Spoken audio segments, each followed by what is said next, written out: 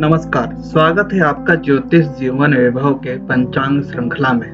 हम आपका इस श्रृंखला में दैनिक पंचांग से अवगत कराएँगे। पंचांग का पूजा, मांगलिक कार्य एवं मुहूर्त में खास महत्व तो होता है। पुरातन काल से ही पंचांग देखे बिना कोई कार्य संभव नहीं होता था, जो लगभग आज भी कायम है। पंचांग के पाँच अंक नक्षत्र, तिथि, योग, करण व वार होते हैं, जिसका विस्तृत विवरण प्रस्तुत है। आज का पंचांग है 5 अगस्त 2022 का। अभी विक्रम संवत दो हज़ार और शक संवत उन्नीस सौ चौवालीस चल रहा है। तिथि अष्टमी है जो कि 6 अगस्त के प्रातः तीन बज के अट्ठावन मिनट तक रहेगी। उसके उपरांत नवमी लग जाएगी। वार शुक्रवार है, मास श्रावण है, ऋतु वर्षा है और पक्ष शुक्ल पक्ष है। सूर्योदय प्रातःकाल पाँच बज के बावन मिनट पे है और सूर्य सायंकाल सात बजे। चंद्रोदय दोपहर बारह बज के पच्चीस मिनट पे है। और चंद्रास्त रात्रि ग्यारह बज के इक्यावन मिनट पर। नक्षत्र स्वाति है, जो कि सायंकाल छह बज के सैतीस मिनट तक रहेगा, उसके उपरांत विशाखा लग जाएगा। योग शुभ है, जो कि दोपहर दो बज के बावन मिनट तक रहेगा, उसके उपरांत शुक्ल लग जाएगा। करण विष्टि है, जो कि सायंकाल चार बज के सैतीस मिनट तक रहेगा, उसके उपरांत बव जो कि छह अगस्त के प्रातः तीन बज के अट्ठावन मिनट तक रहेगा। अब जानते हैं आज के शुभ मुहूर्त।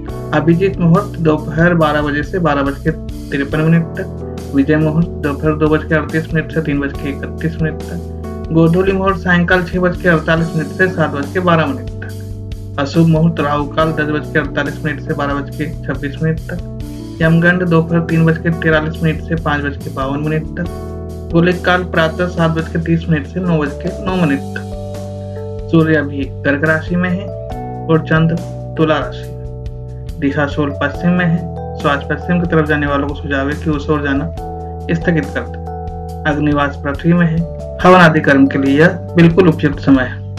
अब जानते हैं, आज जन्म लिए बालक बालिका का फल। चार अगस्त की सायंकाल छह बज के अड़तालीस मिनट से पाँच अगस्त की सायंकाल छह बज के सैतीस मिनट तक जो बच्चा जन्म लेगा, वह स्वाति नक्षत्र में जन्मा बच्चा है। इनका जन्माक्षर रू, रे, रो, ता है। पाए संधि है। या आकर्षक व्यक्तित्व के होंगे, अच्छी कदकाठी होगी ये हसमुख और मिलनसार प्रवृत्ति के होंगे। इनके चेहरे पर हमेशा मुस्कान रहेगी। अपने मधुर स्वभाव और व्यवहार से ये सबका दिल जीत लेंगे। व्यवहार कुशल और शिष्टाचारी होंगे। ये दयालु प्रवृत्ति और आत्म नियंत्रण वाले होंगे। स्वभाव से बहुत स्वाभिमानी और उच्च विचारधारा के होंगे। ये कभी आलस नहीं करेंगे और हमेशा अपने काम को निपुणता से करेंगे।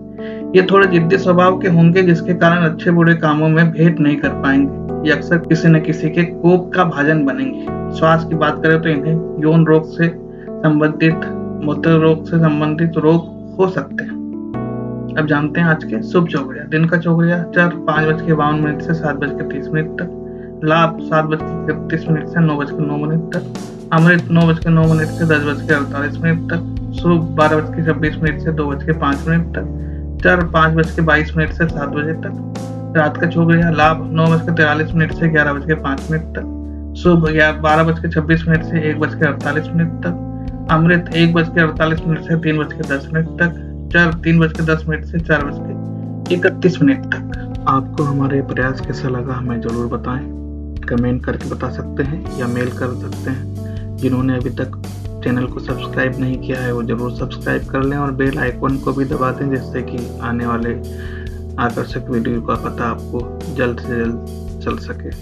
धन्यवाद।